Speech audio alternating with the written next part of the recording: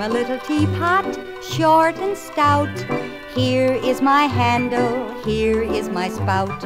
When I get all steamed up, then I shout, just tip me over, pour me out.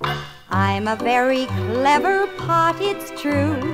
Here's an example what I can do. I can change my handle and my spout, just tip me over, pour me out.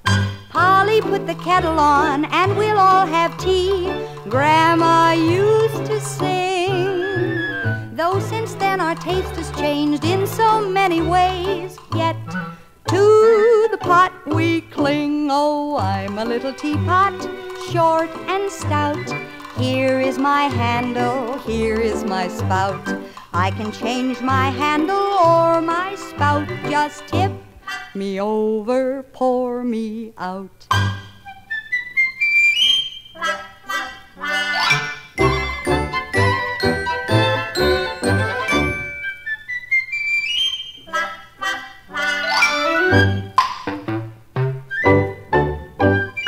Now let's play a little game. You're going to be a teapot, and I'll show you how. Are you ready?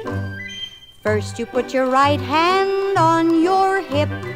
That makes the handle that you can tip. Then you make your left hand form the spout to tip you over, pour you out. Now let's see how clever you can be. Reverse position, and you will see you can change your handle and your spout to tip you over, pour you out. You can have a lot of fun if you're lean or stout. Doesn't mean a thing. Now you know the way it's done, there should be no doubt. So everybody shout, Oh, I'm a little teapot, short and stout. Here is my handle, here is my spout.